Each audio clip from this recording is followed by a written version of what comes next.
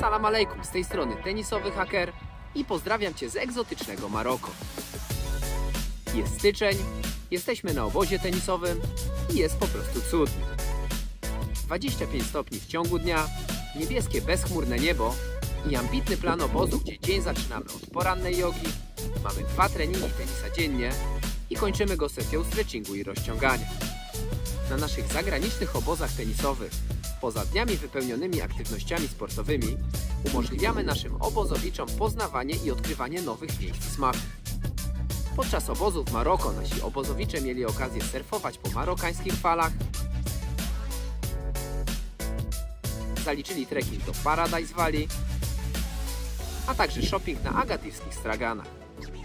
Warto wspomnieć jeszcze kilka słów o hotelu, w którym mieszkamy. Hotel Robinson Agadir, poza świetnymi warunkami zakwaterowania i przepysznym jedzeniem, oferuje szereg dodatkowych atrakcji, takich jak m.in. lekcje spinningu, seanse saunowe czy wieczorne show.